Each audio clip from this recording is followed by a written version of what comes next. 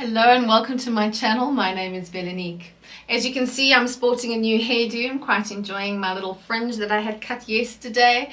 I'm quite excited for winter to have a nice little cute look. I don't know how well it'll go in summertime, but we'll see. For now, I'm quite enjoying it. What I do in this space is I test makeup for mature skin. I go out and I buy the makeup, I put it on in front of the camera so that you can see what the application looks like and how well it wears throughout the day because I don't know about you but I found that makeup that served me really well in my 20s and 30s no longer serve me too well today. So in today's video I am going to be testing out two foundations from the Fenty Beauty range.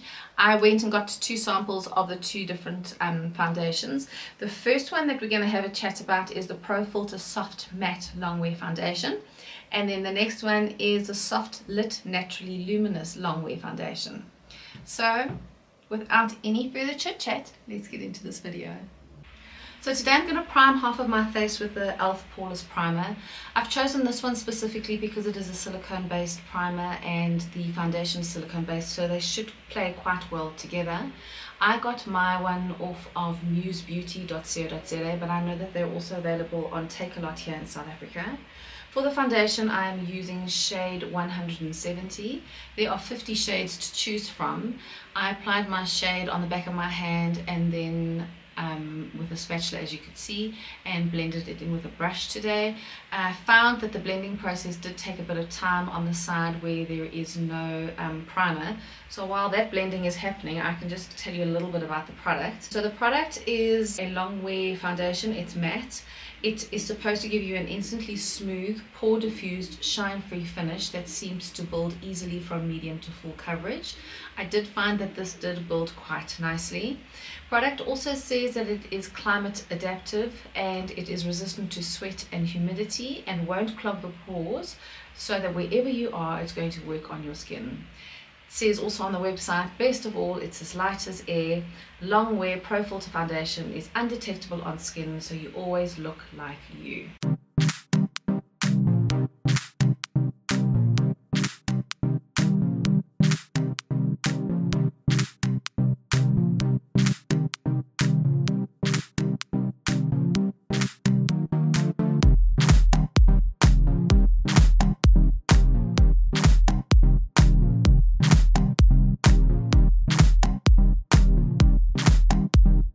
Sides of the face done so what I'm going to do now is just do a couple little touch-ups and see if I can just cover those little blemishes that bother me then I'm going to go and do my makeup for the day and then we will see what this looks like in natural light.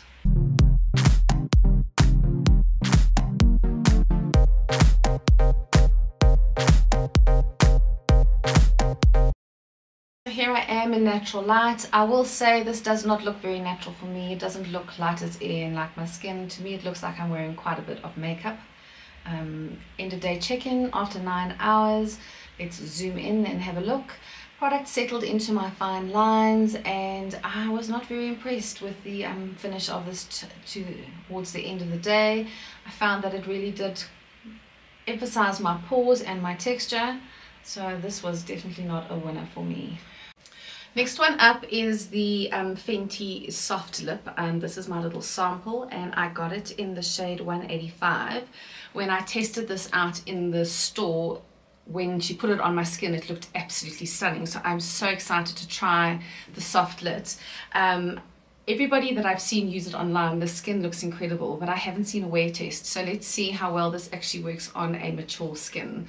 So first what I'm going to do as I did with the um, Pro Filt'r is I'm going to just prep and prime half of my face with the e.l.f. Um, Poreless Putty Primer. The reason why I'm using the e.l.f. primer is because it is an oil-based primer um, and the Fenty foundation is oil-based as well. So I'm just going to take a little bit and I'm just going to pop that on my skin.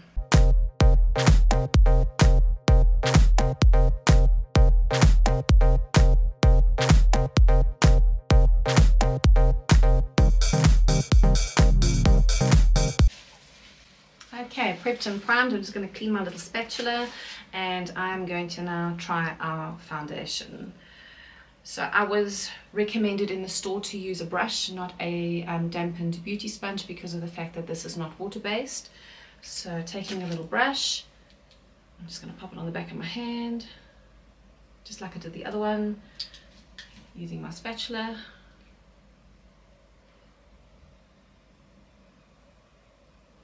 Pop it on.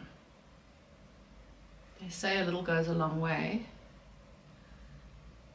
So let's see how we go.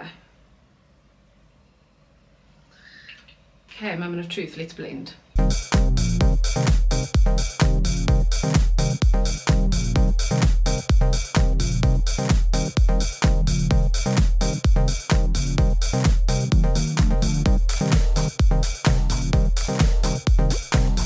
Side by side. It is a medium coverage foundation and gosh, I really like what that looks like. Um, it looks like there's a filter on my skin. Gosh, that looks beautiful.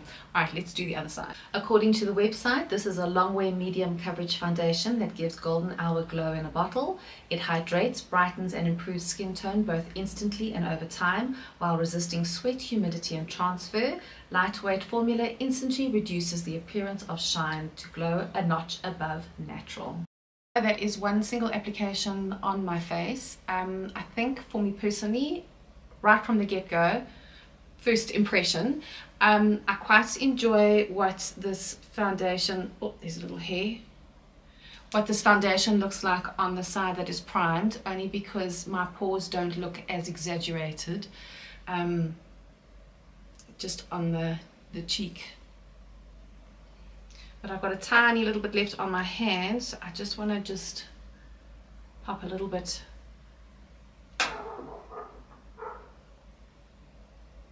those areas that need a tiny bit more coverage. But you know me, I like something that is medium. I'm not a massive full coverage fan. The shade is absolutely fantastic. It is an absolute color match for me. I'm really very happy. I'm sure I mentioned it in the beginning. I think it is 185. There are 50 shades to choose from. I would recommend that if you can get to an ARC, go in and let them shade match you. Um, very, very pretty. Okay, what I'm going to do now is I'm going to go and finish off my makeup and then we will have a look and see what this foundation looks like in natural light. Okay, here we go. We're in natural light. Um, I saw the hairdresser yesterday, so that is where the fringe came from. It was um, clipped back earlier. Um, so here we are. I've done my makeup, um, and oh my gracious, I have incredibly high hopes for this foundation it just looks like I'm having the most incredible skin day. Um, the other products play very well with it and um, it looks incredibly, incredibly natural, which I just love. Um, oh, it's beautiful. Let's just hope that this lasts. So I'll do maybe two check-ins today. Maybe I'll do a lunchtime check-in and I'll do an end of day check-in. It is now about quarter past nine in the morning. So I'll see you around about lunchtime, about one-ish or so. Um, yeah, let's see how we go today. A quick little on-the-go check-in. It is now 20 past 2 in the afternoon. I'm sitting in the car. I've been out and about. And gosh, skin is looking lovely. Really, really pretty still. Hasn't separated, which is quite nice to see. Look on the forehead. Yep, looking pretty good. So yeah, it's looking like a good one. See you later back for my last check-in of the day. It is now just gone six o'clock in the evening. It is five past six. And I've had this foundation on for about nine hours. And for long wear I think that that's a pretty good uh, test. So let me zoom you in and let's have a look what my skin looks like Okay, zoomed right in. So for the most part, I am very, very happy with how my skin has performed today. Every time that I have caught myself in the mirror, I have thought, oh my gracious, my skin looks divine. The foundation has separated a little bit over my 11s um, and it hasn't settled too, too badly in my um, forehead lines. The product seems to do a lot better with a primer than without. The side of my face still looks pretty good, I would say. Um, the side of my face here, there is a little bit of separation. But for the most part, gosh, skin looks fabulous. So my final thoughts, I must say that I have enjoyed wearing this foundation today. I really do enjoy what my skin still looks like nine hours after the application. I love the fact that the product has not oxidized at all. The color that I put on this morning is exactly the same as what you see now. I really, really like that. I will say that it works well with a primer as opposed to without a primer. For me, I also enjoyed what the application felt like. It was a lot smoother on the primer than it was on my bare skin. So my skin type is combination. I had an oily T-pan panel and the product stayed really well there. It'd be very interesting to see how well it lasts during the summer months but for today's winter day which was quite a nice warmish day it performed really really well. Product is quite expensive. It's 800 Rand for the bottle but I think if you've got the money, I would definitely recommend it. It's a really lovely, lovely foundation. I definitely preferred it over the Pro Filt'r. For me, the Pro Filt'r felt like there was something quite thick and heavy on my skin and I did not enjoy how it performed on my mature skin. So for me, it's not one that I would recommend. Well, that is it. If there is a foundation or a product that you would like me to test, won't you let me know down in the comments and I'll see what I can do about that. But for now, that's it. That is everything from me for this evening. If you haven't already, please subscribe. It would be so awesome to have you as part of the community. And that's it. I will catch you in the next one.